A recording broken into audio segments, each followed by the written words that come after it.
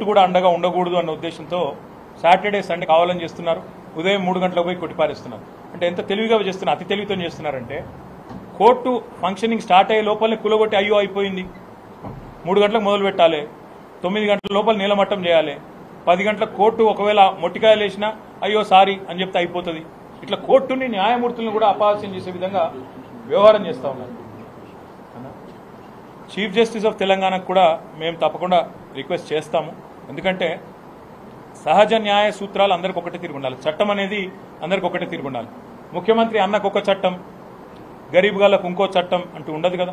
కాబట్టి తప్పకుండా అది ఆలోచన చేయాలి. మూడోది మీరు అన్నారు కాంగ్రెస్ వాళ్ళ ఇండ్ల మీదకి పోతారా అని. సందర్భం వస్తే కాంగ్రెస్ వాళ్ళ ఇండ్ల మీదకి పోతాం మంత్రుల దగ్గరికి పోతాం మంత్రుల ఫామ్ హౌస్లను మంచిగా మంచి వీడియోలు తీసి మీకు కూడా అందజేస్తాం. తప్పకుండా అన్ని బయట పెడతాం అందులో ఏమి ఇబ్బంది లేదు. పట్నం మహేందర్ రెడ్డిది పొంగులేటి శ్రీనివాస్ రెడ్డిది లేదా వివేక్ గారిది ఇంకా చాలా మంది ఉన్నారు. కేవీపీ రామచంద్రరావుది అన్ని బయటకు వస్తాయి. మీరేం తొందరపడాల్సిన అవసరం లేదు. ఇంకా నాలుగేళ్ళు ఉంది కదా. వీళ్ళ వ్యవహారం ఎంత దాకా పోతుంది? వీళ్ళ డ్రామా ఎంత దాకా లాగుతారు? ఇవన్నీ చూసిన తర్వాత మా పని మేము చేస్తాం. హైకోర్టు ప్రధాన న్యాయమూర్తి గారిని మేము కోరేది ఒకటే.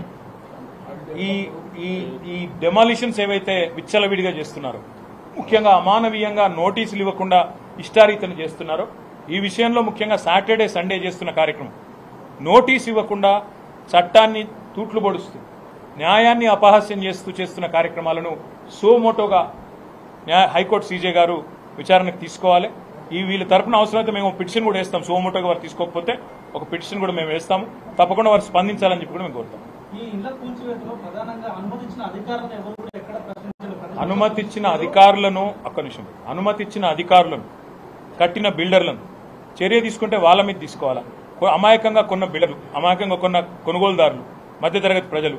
పైసా పైసా కూడబట్టి నిన్న చూస్తే ఒక దాదాపు నలభై యాభై ఏళ్ళుండే మగవాళ్ళు ఏడుస్తున్నారు చిన్నపిల్లలు ఏడుస్తున్నారు. హృదయ విదారకంగా ఉన్నాయి ఆ దృశ్యాలు. అందుకే నేను అనేది ప్రభుత్వానికి మానవీయత ఉండాలి మానవీయ కోణం ఉండాలి. మా ప్రభుత్వం ఉన్నప్పుడు మా దగ్గర కూడా వచ్చినాయి రిపోర్ట్ కిర్లోస్కర్ కమిటీ ప్రకారం ఇరవై ఎనిమిది వేల కబ్జాలు ఉన్నాయి. ఓఎంట్స్ అనే కమిటీ కన్సల్టింగ్ ప్రకారం కంపెనీ ప్రకారం రిపోర్ట్ ప్రకారం ముప్పై వేలు ఉన్నాయన్నారు మేము ఆలోచించింది ఏంటంటే ఎక్కడెక్కడైతే బాటిల్ నెక్స్ ఉన్నాయో వాటిని కొట్టాలనుకున్నాం కొట్టాం. నేను ఇంకొక రోజు మీకు కావాలంటే వివరంగా మా ప్రభుత్వంలో చెరువుల పరిరక్షణకు మేము తీసుకున్న కార్యక్రమాలు ఎట్లా మేము కబ్జాలు లేకుండా నిరోధించగలిగినాం